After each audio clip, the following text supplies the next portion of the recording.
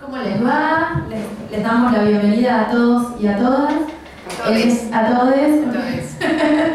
Eh, a esta videoconferencia que hemos dado en llamar Bibliotecas Escolares y Entornos eh, Digitales. Bueno, eh, tenemos muchas novedades para compartir hoy, pero no voy a ser yo quien las va a, compartir justamente. En principio, les recuerdo que esta videoconferencia se está transmitiendo en todo el país. Son, más, son casi 40 sedes en las que estamos transmitiendo. Así que, y con la novedad de que en esta oportunidad hemos sumado a, las, a las, sedes de Azul, Trenquelauquen y Olavarría por pedido de, las, de, de los profesionales de esas localidades. A su vez, estamos transmitiendo en La Plata, en Junín, en Bahía Blanca, en Mar del Plata, en Tandil, en Resistencia, en Treleu, en Comodoro Rivadavia, en San Fernando del Valle de Catamarca, en Córdoba Capital, en Río Cuarto, en San Francisco, en Villa María, en Corrientes, en Paraná, en Concordia, en Formosa, en Jujuy, Santa Rosa, La Rioja, Chilecito, Chamical, Mendoza, Posadas, Neuquén, Salta, San Juan, San Luis, Villa Mercedes, Río Gallegos, Rosario, Santiago del Estero, Río Grande, Ushuaia, Ushuaia y Yerba que es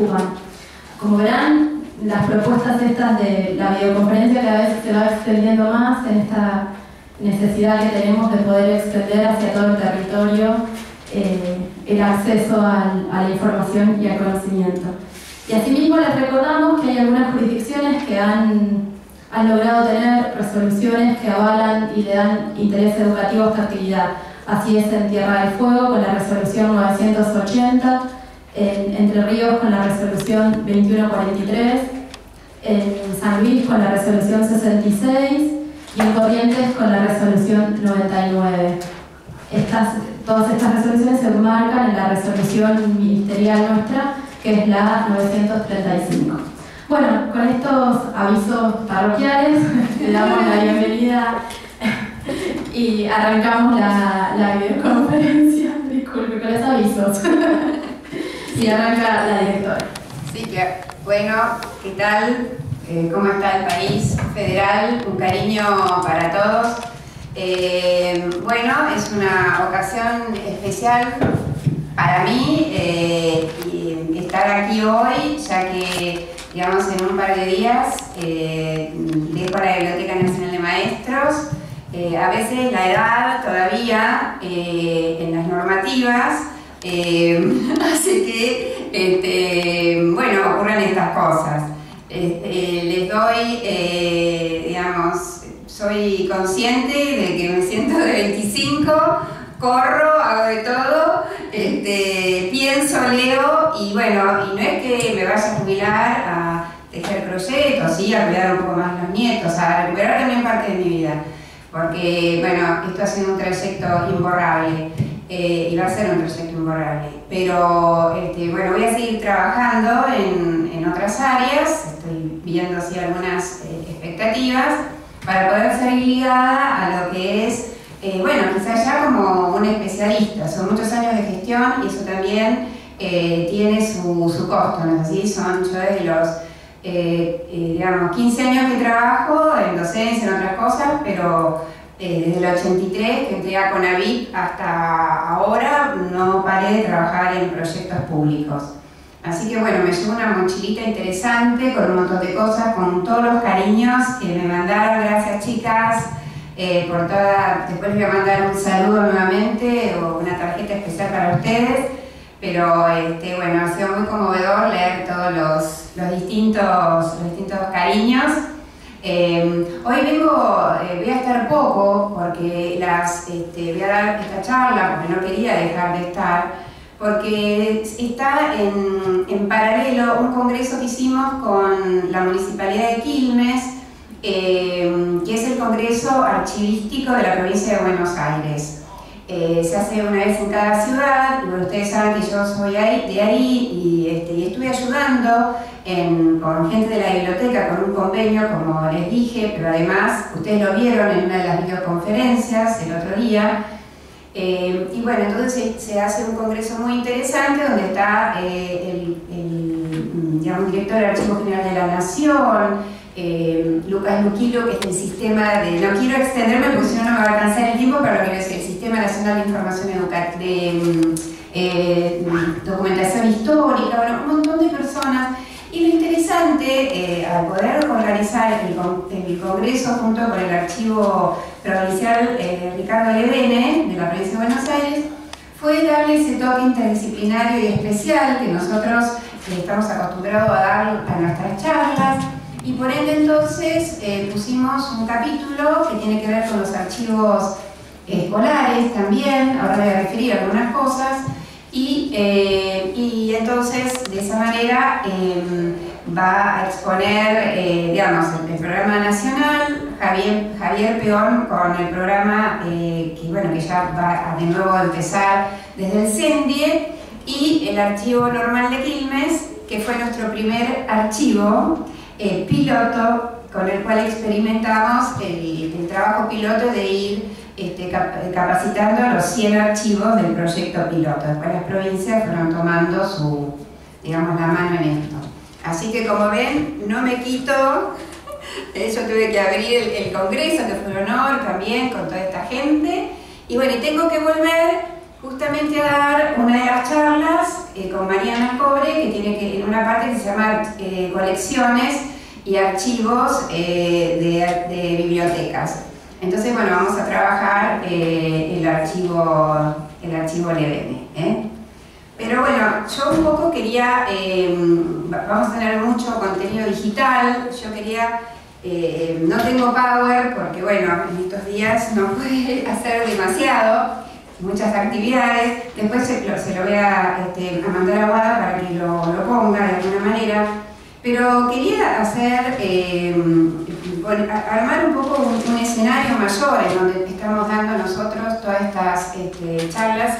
y donde estamos hablando del acceso a la información, que bueno, ahora nos toca la era digital, pero eh, ha venido, eh, se ha venido dando a través de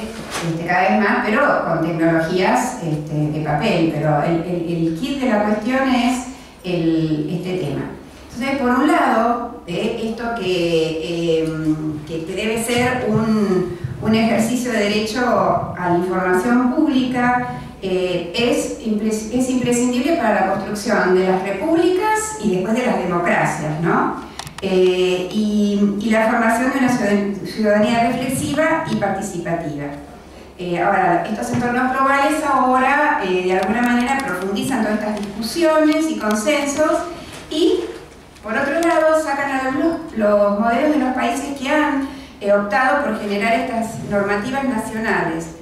¿Por qué es importante todo esto que vamos a mencionar? Porque hace que de alguna manera los archivos y las bibliotecas, como dije otras veces, son ahora importantes en las agendas, porque tenemos que hablar de la organización de la información física y digital, de la conservación. Ustedes empiecen a pensar y, se empiezan a dar una serie de, cosas que son tan importantes para la persona o para los gobiernos, ¿no es así? Para, para, poder tener, para que haya lo que se llama en inglés accountability o rendición de cuentas o eh, eh, digamos, tener eh, em, la, este, digamos, la, obligación de poder rendir lo, que se está haciendo a niveles de política pública y eso se, em, de alguna manera se pone en los, papeles y ahora en instancias digitales. Entonces, esto es muy, muy importante. Y esto eh, también está avalado, como decíamos con, con, Perina, hoy el director del Archivo General de la Nación, por la Agenda 2030 de la UNESCO, que nosotros estamos trabajando en un montón de cosas, en distintas cosas, pero en este caso eh, es la, acuérdense, la, y lo, lo sigo diciendo, el enunciado 16, el que nos dice que, eh, digamos, que hay que promover sociedades pacíficas e inclusivas para el desarrollo sostenible, facilitar justicia para todos y crear instituciones eh, que tengan un acceso a la información eficaz, responsables inclusivas en todos los niveles. Y en el 16.9 aclara que hay que garantizar el acceso público a la información y proteger las libertades fundamentales de conformidad con las leyes nacionales y acuerdos internacionales. Entonces, bueno, eso es, eh, va protegiendo, ¿no es así?, todo lo que implica eh, la información en todo tipo de, soporte, en las bibliotecas y especialmente en los este, archivos públicos. Y, también en las colecciones este, eh, de todo tipo. Bueno, después la, aparición de la ley 27275 de acceso a la información, que también lo hemos dado, es muy, muy importante. Y bueno, y, esto se implica la renovación de modelos jurídicos políticos para que se puedan ejecutar estas políticas públicas y dar cuenta de las acciones, como dije. Hay ámbitos de aplicación, está el, decreto reglamentario, eh, donde ustedes pueden ver cómo va bajando la, aplicación de esta ley, pero lo, más importante eh, para, eh, para nosotros, ¿no es así?, es eh, la, mm, digamos, la, em, eh, por un lado, los dos grandes desafíos que tienen los agentes que están haciendo esto. Por un lado, como dije, la información organizada y preservada, ya sea en físico o digital, más allá de su soporte, y después los modelos tecnológicos de acceso a la información, ¿no es así?, que, eh, abiertos de datos que permitan la consulta este, virtual y física. ¿eh? Entonces, por eso es importante porque en, muchos lugares los archivos, las bibliotecas y otros, eh, otras unidades de información y la tarea de los archivistas, bibliotecarios y conservadoras va a generar su postura en las agendas, junto con los equipos también de hacedores de modelos de datos y arquitecturas de la información para la consulta. Este, en tiempo y forma. Ahora, ¿dónde estamos nosotros también? Acá se exige una formación de usuarios reflexivos y la socialización de los derechos, o sea, que la gente sepa que tiene estos derechos para cualquier tema que, de ciudadano o de investigación que ustedes puedan imaginar. Después hay que bajarlo y, dar ejemplos. Pero eh, lo importante es entonces que eh, en el tema de la formación de los usuarios, eh, nosotros tenemos que tener usuarios reflexivos y lectores, porque si no, eh, de alguna manera, si no pueden eh, comprender, si no pueden saber, van a, tener una brecha, ¿no es así?, en, saber que tienen todos estos derechos, en poder buscar, porque todo esto también exige manejar, ir a, lugares donde está la información, necesitan saber manejar entornos digitales, porque las ciudades cada vez van a ser más ciudades digitales, con autos eléctricos, con este, bueno, con trámites electrónicos, como, empieza a pasar ya en muchos lados. Con, eh,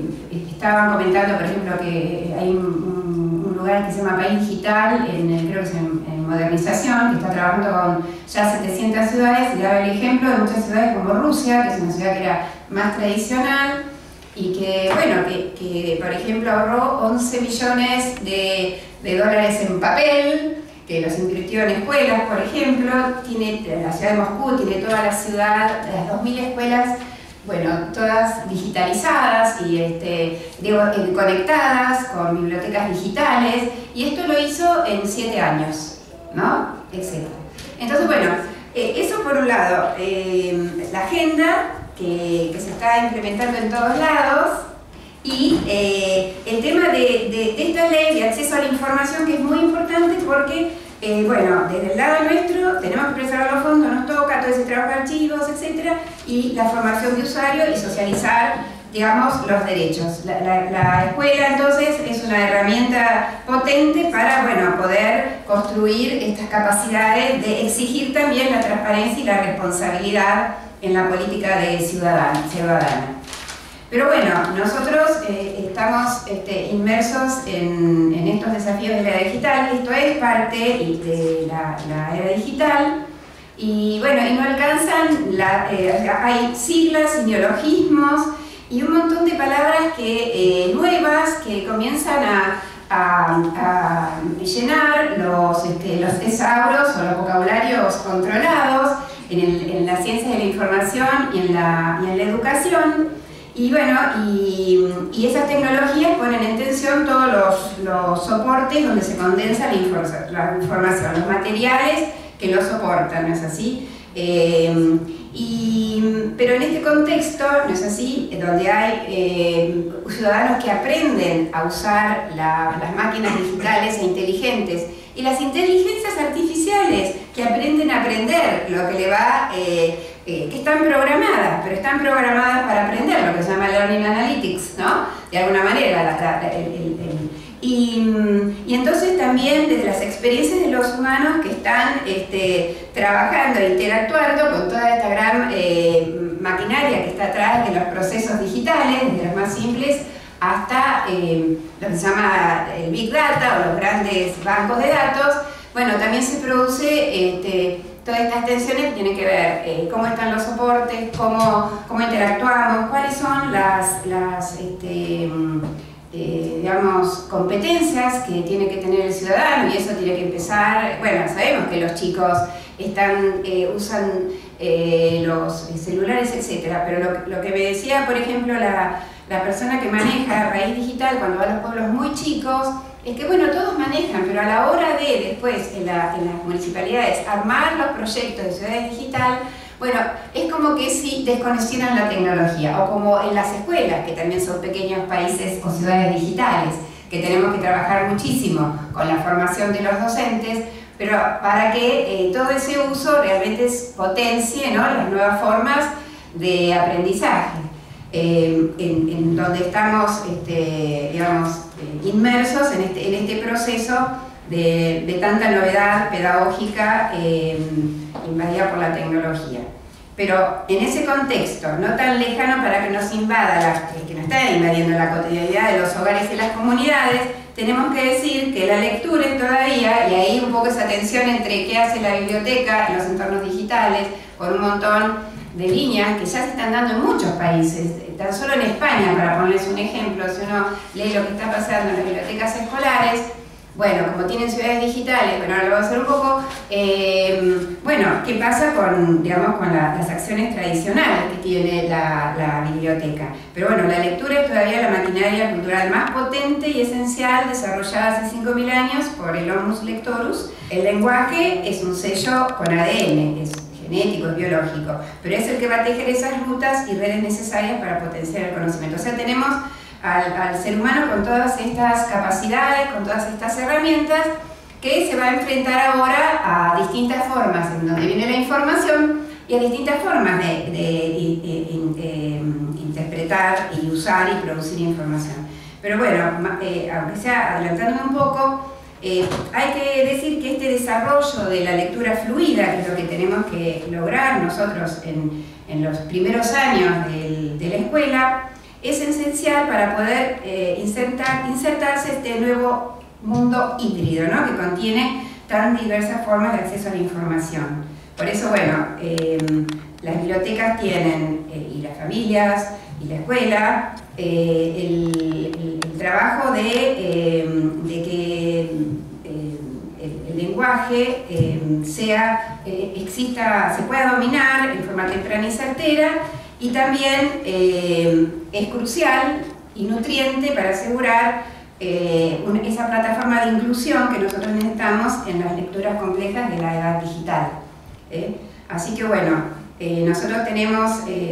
se van a dar espacios de aprendizaje colaborativos, eh, los esfuerzos interdisciplinarios conformarán nuevas ecologías para enfrentar estos desafíos, pero las bibliotecas van a tener que seguir adaptándose y reinventándose para continuar eh, dos cosas importantes. Eh, las brechas, la, la, oportunidad individual y la cobertura de las brechas de la lectura y del conocimiento, especialmente este, para los chicos que no han tenido libros en la casa, que no han, podido eh, generar toda esa este, digamos, capacidad especial de,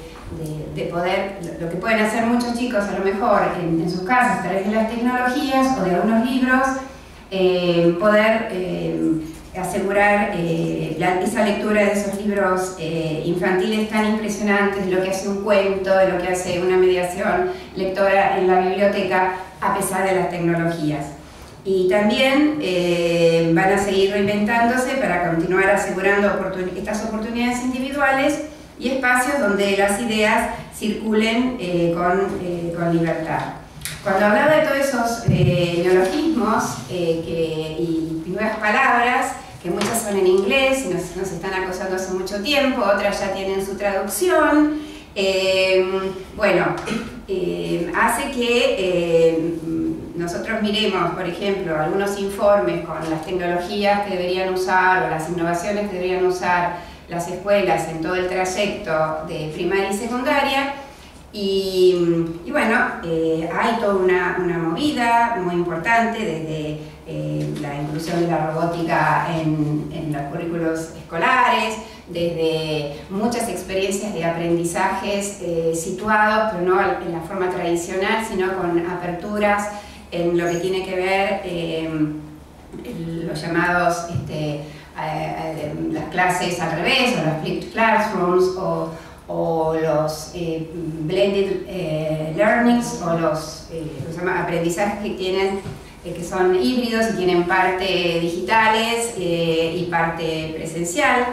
Y con ello, eh, pero bueno, nosotros todavía en Argentina tenemos que eh, realmente caminar muchísimo. A ver, no sé hacia dónde va el mundo, hay nuevos pedagogos que dicen ahora, bueno, no voy a mencionar, de que bueno, los chicos tienen que alejarse, que tiene que haber tiempo, que estamos haciendo con los chicos en la escuela, los estamos presionando, tiene que haber libertad, tiene que haber rebelión, o sea, hay algunas líneas que hacen que los chicos se salgan de todo esto, de todas estas presiones y que este, y, por otro lado, toda esta línea nos lleva quizás, no sé, a un mercado de trabajo, a... Bueno, es incierto todavía lo que está pasando. ¿Para qué estamos eh, realmente metiéndonos en las culturas digitales? Sabemos sus beneficios. Pero de alguna manera hay muchas palabras como aprendizaje activo, auténtico, basado en la investigación. Y no nos olvidemos que nosotros somos bibliotecas escolares, que tenemos la, la obligación de estar eh, ligadas a todo lo que pasa en la escuela, a las metodologías, a eh, cómo se gestiona el conocimiento. Entonces también tenemos aprendizaje basados en problemas, aprendizajes colaborativos, como dije, híbridos supervisados, unos son supervisados, otros son eh, autónomos, en fin, eh, aprendizaje con, digamos, con principios de juegos o, gamificación, después todo lo que son space makers makerspace, o sea, todas estas cosas que están pasando en la escuela también eh, van hacia la biblioteca, porque en realidad la biblioteca se transforma en, un aula también, un gran aula, porque tiene que eh, no solo trabajar algunas cosas que son tradicionales, sino que también tiene que proveer toda esa, esa mm, este, capacidad de poder eh, elegir, leer en papel y en libro, que, que muchos hablaron de la muerte del libro, pero nosotros seguimos pensando que eso continúa y que es más, hay un montón de trabajos que yo alguna vez traje y mencioné cuando se compara ambos, este, las lecturas tanto en tablets y en pantallas con, con el libro, de algunos eh, estudios neurocientíficos, y realmente, este, bueno, el libro todavía, hasta que no haya una mutación cerebral del ser humano, el libro corre con ventaja.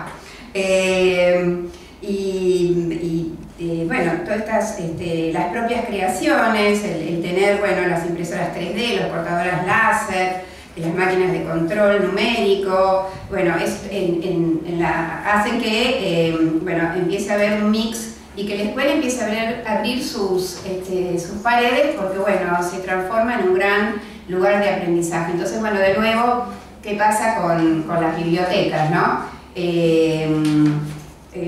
bueno, siguen todos los tipos de, temas que, según estos informes debería, debería estar este, em, avanzado en, el en, lo que son los distintos eh, grados y las distintas em, digamos, saberes que tienen que tener, ¿no es así? Eh, pero bueno, em, desde trabajar con tecnologías vestibles, o se llaman wearables, o tener asistentes virtuales, eh, en las universidades el trabajo con Analytics, pero todo eso hace que eh, empiecen el, eh, bueno, todos los ebooks, como dije, los MOOCs también, el aprendizaje abierto online, masivo, o sea, son todas siglas y, y palabras que nos hacen realmente conmocionar. Y bueno, las bibliotecas tienen que ver cómo se adaptan a a toda este, esta gran eh, profusión de, modalidades, em, digamos, utilizando las tecnologías. Entonces, bueno, por un lado nosotros, em, otra de las cosas también que, hacen, que nos, hacen tensionar, es eh, bueno, el tránsito en la biblioteca escolar de la, de la, cultura impresa a la digitalización de los recursos educativos. Es una, como una franja después para, para explorar. Otra de los temas eh, importantes es lo que se llama o se llamó la crisis del libro de texto en el sentido que fuera o que se convirtiera o que todavía es el canon del saber escolar, ¿no es así? De la narrativa pedagógica escolar. Em, cuando este, es como si fuera em, una, una, semilla del saber y todo, todo el tipo de enseñanza, eh, la tecnología educativa que se usó gira alrededor de las enseñanzas expositivas, este, eh, hay una mediación con el currículum oficial y las prácticas áulicas, ¿no? Entonces, bueno, cuando ingresan eh, la todos los recursos escolares que se eh, generan online, ¿no? Entonces, bueno, ahí eh, hay plataformas públicas eh, y, generación de recursos, de materiales hechos por los mismos estudiantes o materiales que genera los profesores, ¿no es así? Em, y por otro lado también em, muchos países ya hay plataformas públicas, hay las, ciudades, las ciudades digitales en España, hay muchísimos ejemplos donde ya tienen sus plataformas educativas, donde las eh, bibliotecas están conectadas, tienen bibliotecas este, digitales, eh, ya no hablamos de los catálogos colectivos y qué sé yo, porque ya la forma, hasta bueno, no voy a meterme en eso, después quizás en algún otro momento cuando esté dando charlas por ahí lo voy a Sí, les aviso que voy a, voy a hacer la visita, voy a estar en Chaco y en Misiones, que me invitaron ahora a dar eh, charlas en este sentido. Pero, este, bueno, pero para que todo esto pase, tenemos que tener escuelas conectadas, con banda ancha, con apps para armar blogs, etc. Eh, pero está pasando en, digamos, en, muchos países donde han dado estos saltos eh, tan importantes en, el progreso de los, estudiantes y con otros aprendizajes. También están los REA o recursos educativos este, abiertos. Bueno, si, empezamos a hacer, eh, por un lado, la cantidad de cosas que tenemos que aprender y las, este, también los, bueno, ya hablé de la gamificación, los materiales educativos eh, gamificados, algunos los llaman serios para no confundirlos con los videojuegos que son más de digamos, de, esparcimiento, ¿no? Eh, entonces todo, esto eh, genera, eh, acá, genera entonces, por un lado, por un lado, la necesidad de las bibliotecas que sigan, que sigan apoyando y que sigan parte de, de lo que es el tema del aprendizaje de la lectura, que es donde nosotros eh, tenemos problemas em, y luego después los chicos van pasando de grado a grado y no terminan con las capacidades que deben tener para ya sea eh, acceder a estos mundos más complejos eh, o directamente bueno, trabajar con este, textos de gran, de gran este, porte y de muchas hojas donde tan solo mirarlos dicen, no, yo esto no puedo, ya es un tema casi actitudinal o, que no se puede, ¿no? Porque hay problemas de atención, etc. Entonces, eh, bueno, por un lado, em, eso, por otro lado también eh, las bibliotecas eh, pueden ser también seguidoras de los chicos que tienen problemas con el aprendizaje de, la lectura, que eso siempre nosotros somos como este, defensores de, los chicos que tienen eh, dificultades para adquirir habilidades de lectura y, escritura adecuadas. Eh, para algunos estos se deben como por oportunidad, falta de oportunidades y otros ya son trastornos biológicos que están relacionados con la lectura. A su vez, las tecnologías hoy en día, con el tema de las dislexias y, otras, este, y otros trastornos, lenguas, etc., están dando una ayuda muy importante para eh, poder a veces este, digamos, eh, activar y, mejorar, ¿no es así?, los, los, trayectos lectores de estos chicos. Entonces, bueno,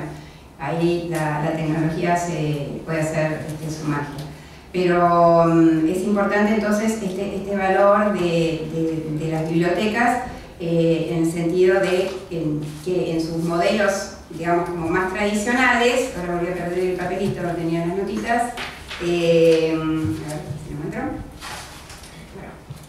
hacen que eh, su, su, rol, eh, digamos, su modelo tradicional que proviene más de la, de, la, alfabetización, ¿no? donde, bueno, donde hay, hay un auxilio metodológico de estudio en algunos casos, donde se trabaja la literatura informativa y la no ficción para el disfrute, eh, donde básicamente tienen la parte de, infraestructura, colección y los servicios, este, digamos, auxiliares, que son préstamos,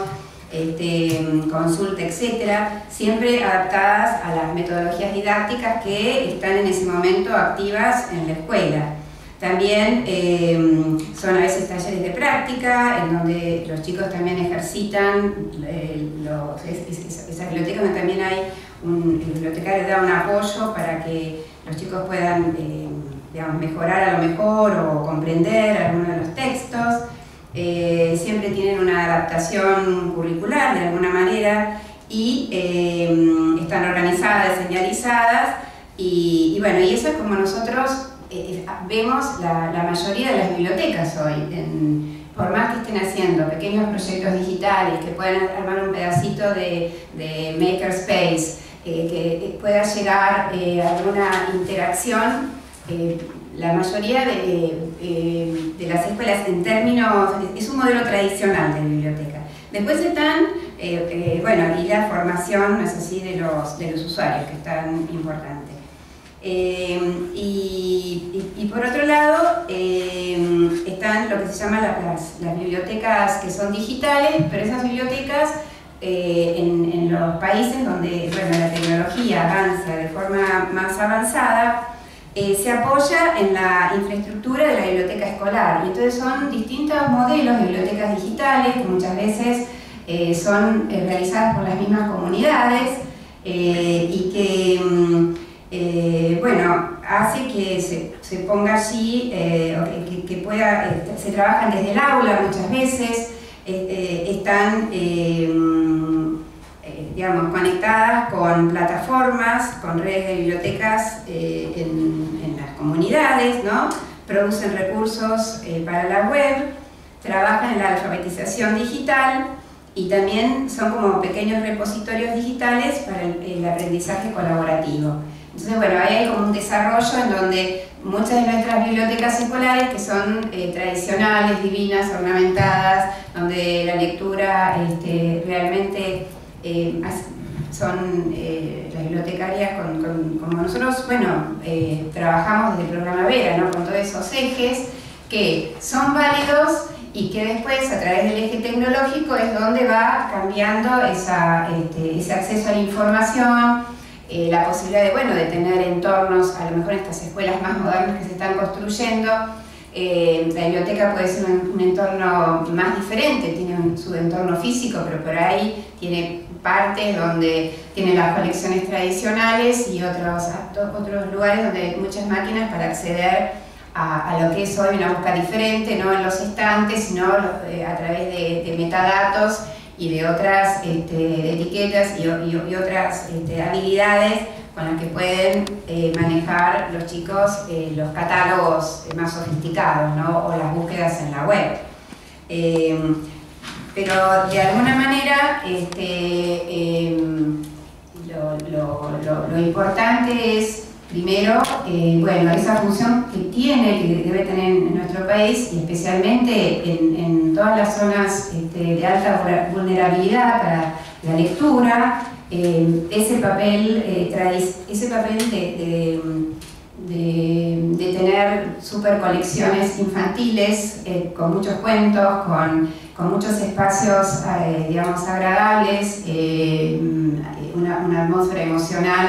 interesante, porque van a ser siendo las que justamente marquen esta oportunidad de acceder a la lectura. Eh, y, después muchas instituciones también tienen sus blogs, tienen sus webs, bueno, y, cuando empiezan a formar redes este, comunitarias, eh, bueno, también hay intercambio de bibliografía, hay algunos que trabajan con los bibliobús de las bibliotecas populares, o sea, nosotros, esta es una, como una definición así como grosa y, burda, en términos de que, a veces, bueno, en, los papers esas cosas siempre se plantea, bueno, esta es la biblioteca tradicional y ahora, eh, eh, ahora viene la biblioteca digital con todo esto, ¿no? Muchos llaman biblioteca digital, ¿no? Porque la biblioteca esté digitalizada. Nosotros sabemos cuando es biblioteca digital, es una biblioteca, no es una biblioteca, es una plataforma con objetos digitales, con learning objects, objetos para el aprendizaje, donde se puede este, generar estas nuevas eh, experiencias de aprendizaje colaborativo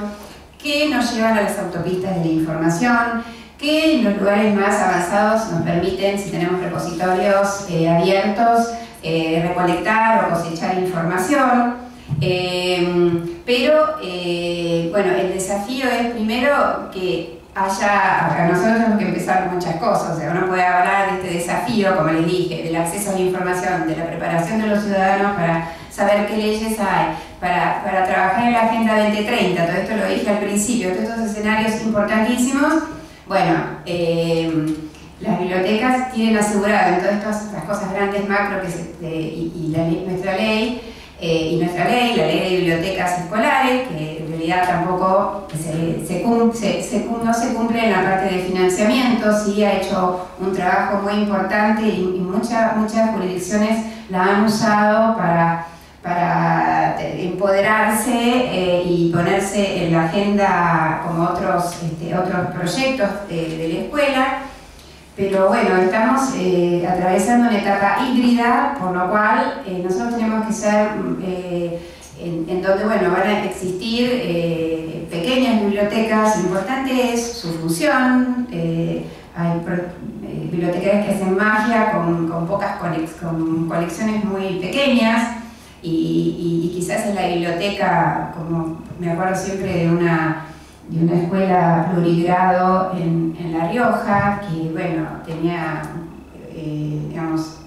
le iba muy bien en términos de los niveles de aprendizaje de lengua y tenía unos proyectos fantásticos con, bueno, vieron cómo trabajan, ¿no? Sin, sin paredes, todos juntos. Esto de teach chadro, encienda al otro, que muchas cosas vienen de la enseñanza del inglés, digamos, muchas cosas que, que ahora uno encuentra provienen de las metodologías sajonas de enseñanza de la lectura en sus países, ¿no? Eh, y entonces, eh, todo eso,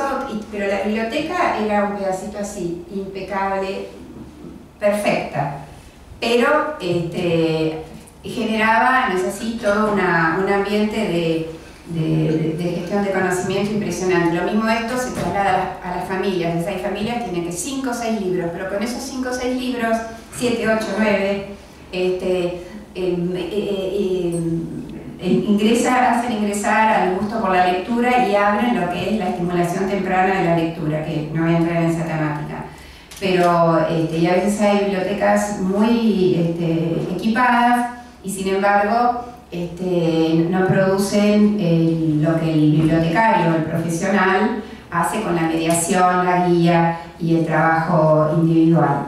Así que eh, para, nosotros los que estamos eh, en este campo, eh, le, dedicamos tanto tiempo, ¿no a que, a que sean parte también, como decía yo a la subsecretaria de País Digital hoy, bueno, en todo lo que mandaste también tenés que mandar a las bibliotecas escolares, en todo lo que aunque pertenecen a la, a la educación y, y, este, y no tienen nada que ver, pero bueno, cuando empiecen a ver la parte de internet, si no están conectadas, ¡pum!, que las conecten y que, y, que también los chicos puedan participar a lo mejor en, en algunos proyectos, ¿no es así? Eh, para comprender cómo va, se va a transformar su ciudad, su ciudad o para tener esa posibilidad de, de, entrar en el mundo. Entonces, bueno, estamos en este mundo híbrido eh, donde muchas, eh, la, el paso de, la digital, de, de, estos entornos digitales en la biblioteca va a venir eh, atado a, cómo se maneja en la escuela. No creo que una, una escuela pueda, este, bueno, va a poder generar este, todos estos contenidos digitales a lo mejor, o bueno, hacer muchas prácticas, pero esa, eh, digamos, em, como, eh, integridad de la escuela con la biblioteca, ese ambiente general de aprendizaje, ya sea en el aula de la biblioteca, para que llegue a esos niveles digitales, de era digital, con todos esos aprendizajes y todos esos instrumentos y todo lo que tenemos que tener, que ya lo van a, expresar más adelante en, forma más específica, bueno, es un trabajo de política pública que tiene que ser conjunta, lo mismo con las bibliotecas populares y las bibliotecas de la ciudad, porque son los lugares donde también el chico tiene que salir y empezar a, buscar y, seguir su, trabajo continuo en, la universidad. Eh, así que, eh, bueno,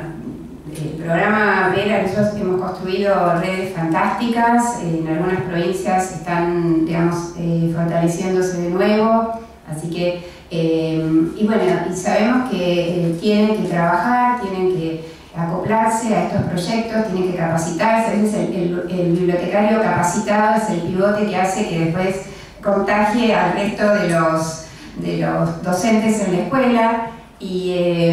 y entonces pienso que, se ha hecho un trabajo fantástico y que bueno, hay que seguir trabajando. Acá eh, Guada queda como el baluarte Vera más todos los demás chicos del equipo y, este, y, lo mismo, em,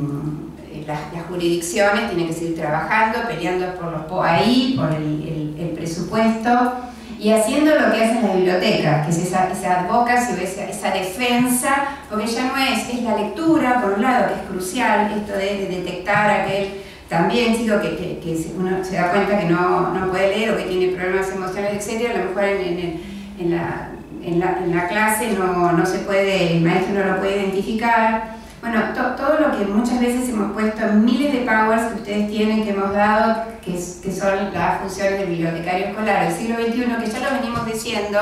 ¿no? De, a lo mejor ahora se dice, pero nosotros venimos con, este, con toda esta línea desde hace 12 años o más. Eh, así que bueno, eh, hay, que, hay que explorar, hay que animarse a experimentar, hay que trabajar, hay que aprovechar cuando viene el camión infinito por descubrir y enterarse, ya algunas cosas se van a hacer para conectarlo, ya yo dejo algunas semillas este, incubándose con algunos este, programas para que bueno, haya esta conexión realmente entre las bibliotecas y los programas del Ministerio que están haciendo punta. ¿eh? Eh, lo mismo todas las líneas de aprendizaje de la Secretaría de, Mercedes. ¿eh? Em, y todo el trabajo que está haciendo Flor eh, Ripani este, en, toda la, la, línea de, conectarse digitalmente y trabajar. O sea, hay muchos proyectos fantásticos, hay que sumarse a esos. Vamos a tratar de hacerlo, o los chicos van a tratar de hacerlo desde la biblioteca, seguir los, lazos que tendimos. Y bueno, y, este, y los estaré viendo en, digamos, desde otros escenarios, no voy a dejar de trabajar este, voy a seguir eh, escribiendo, dando charlas y bueno, veremos, hay algunas propuestas, así que por ahí este, me invitan de nuevo a dar una videoconferencia. Así que un beso grande a todos y lamento tener que irme porque saben que estoy en el Congreso de Quilmes y ahora tengo que volver, así que eh, me voy a disculpar ante todos los conferencistas, pero bueno, tengo una agenda de los últimos días muy muy alborotada. Así que bueno, para, le dejo un aplauso.